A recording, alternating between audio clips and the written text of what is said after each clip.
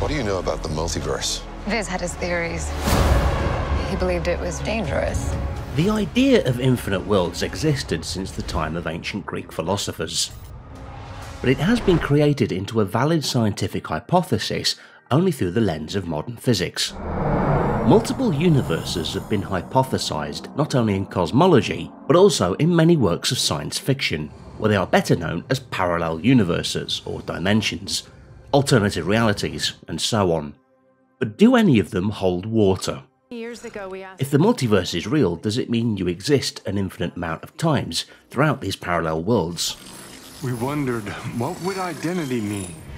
There are many ways to the multiverse. Maybe a good place to start would be what I consider the simplest of all, which is to imagine the possibility that space goes on infinitely far, right? If you were to get into a, a rocket ship and head out into the cosmos, would you at some point hit a brick wall? No, most of us don't think that's the case. Would you circle back to your starting point like what would happen on the Earth's surface if you took a similar journey? That's possible. Or would you simply keep on going forever? We don't know, but let's take that third possibility seriously.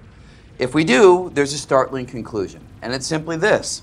In any finite region of space, matter can only arrange itself in finitely many different configurations. Similarly, like if I take a deck of cards. If I shuffle the deck, the order of the cards differ.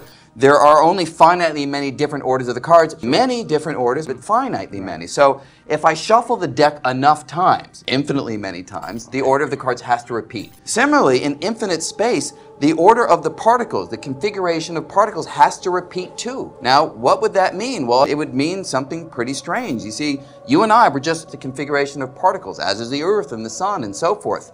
If the configuration of particles repeats someplace out there in the cosmos, it means all that we know is repeating. The fundamental theory that describes the behaviour of subatomic particles, quantum mechanics, might imply not only are there multiple identical versions of you, but even that there are an infinite number of yous out there. How could that be possible, you ask?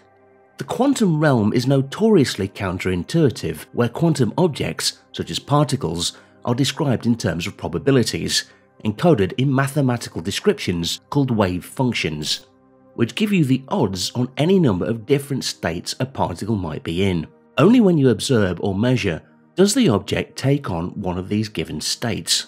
But what does it have to do with multiple universes and infinite copies of you? Theoretical physicist Brian Greene has discussed nine types of multiverses. One of them is the quantum multiverse, which creates a new universe when a diversion in events occurs, as in the real world's variant of the many worlds interpretation of quantum mechanics. The many worlds interpretation implies that there are most likely an uncountably infinite number of universes. It views time as a many branched tree where every possible quantum outcome is realized. This is intended to resolve the measurement problem and some paradoxes of quantum theory, such as Schrodinger's cat, since every possible outcome of a quantum event exists in its own universe.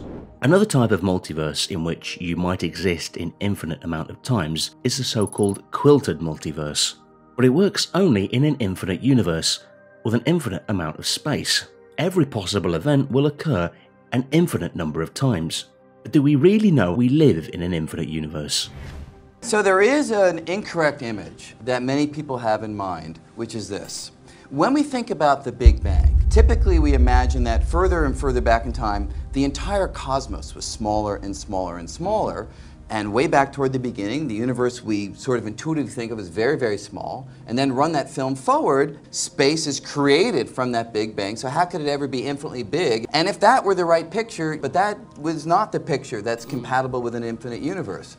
In an infinite universe, as you head ever further back in time, the universe is still infinitely big.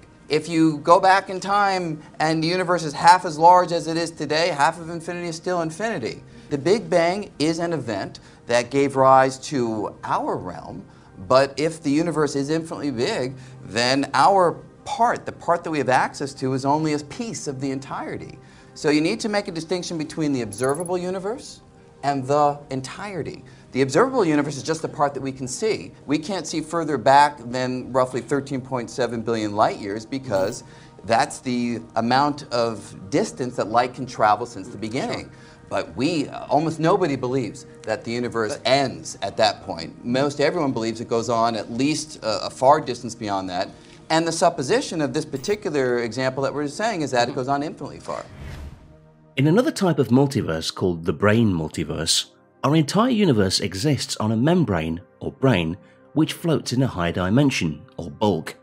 In this bulk, there are other membranes with their own universes. These universes can interact with one another, and when they collide, the violence and energy produced is more than enough to give rise to a Big Bang. The branes float or drift near each other in the bulk, and every few trillion years, attracted by gravity or some other force we do not understand, collide and bang into each other. This repeated contact gives rise to multiple or cyclic Big Bangs.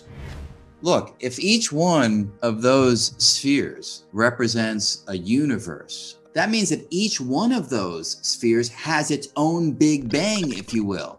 Now, how did it all get started from the get go? Nobody knows. But when we talk about Big Bang in the context of a multiverse, we're really talking about multi Big Bangs. Each universe has its own Big Bang, giving rise to its own expanding portion of space but the different universes have distinct Big Bangs, and therefore the Big Bang did not start off the whole thing. Rather, the Big Bang is the name that we give to the process that yields our expanding universe. That is the difference between them. And that's the language that we typically use. A hypothetical universe model is that an extension of the Big Bang theory is eternal inflation.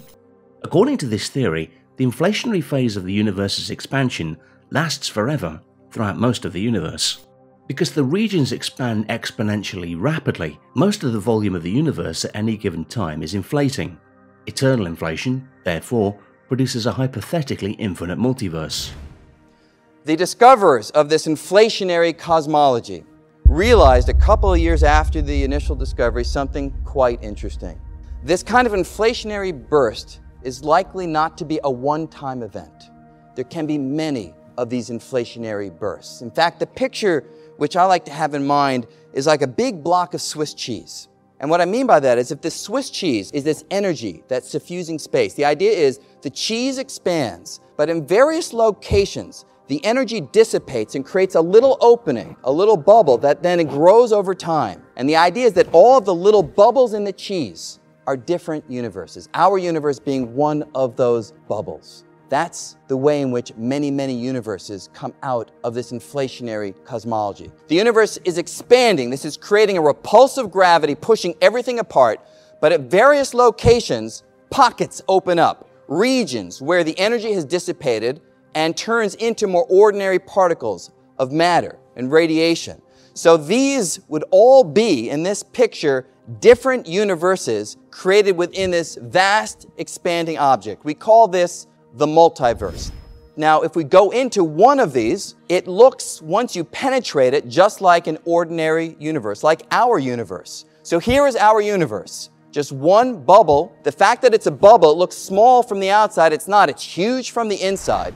This could be our universe. Now, if we exit, if we go into another bubble, the world, the physics can be a little bit different. The features do not have to be identical to ours.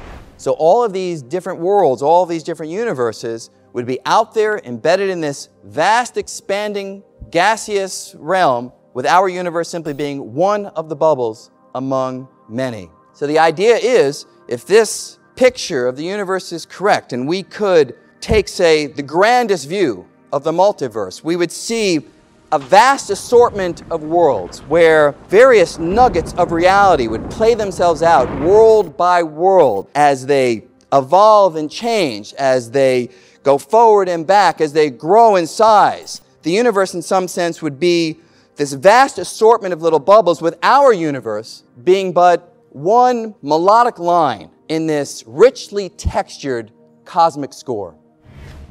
Perhaps the most fascinating type out of the nine types of multiverses Brian Greene discusses is the simulated multiverse.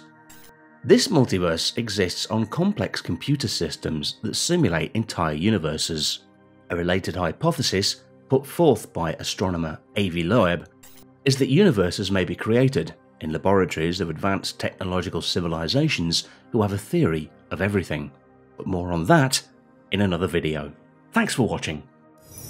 Did you like this video? Then show your support by subscribing and ringing the bell to never miss videos like this.